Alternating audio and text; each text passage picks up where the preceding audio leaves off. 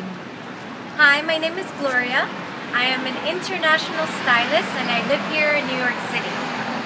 Uh, for the moment, I'm wearing some Ray-Ban Aviators. I really like this pair because uh, since I do a lot of traveling, I just pack up this pair and it goes with every single outfit I have. What is your next pair of sunglasses going to be? My next pair of sunglasses is probably going to be a pair of Oliver People. I really like them. They have a nice classic cut. And what's your favorite fashion accessory piece? For the moment, my favorite fashion piece is going to be this vintage purse I got in Nicaragua in one of my travels. I love it. I wear it with everything. It's an easy one. I like it. Thank you.